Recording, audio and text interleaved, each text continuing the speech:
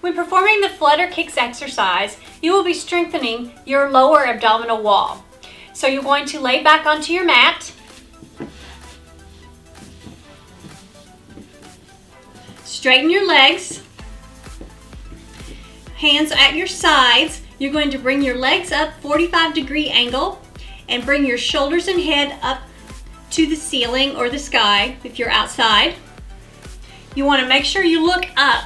Do not look forward because that puts pressure on your neck. So make sure you bring those shoulders up and look straight up.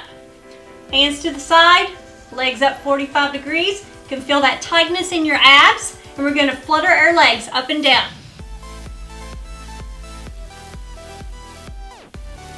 Keep those abs tight, shoulders up. And flutter those legs. Now to modify this exercise, you can keep your head and neck onto the floor, arms to the side, and bring your legs up. Push your lower back into the mat and flutter.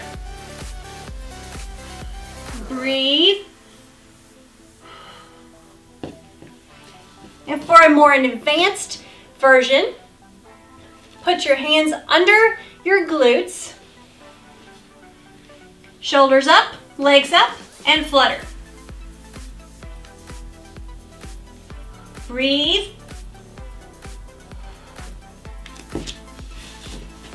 And you will feel that in your abs. That is a flutter kicks exercise.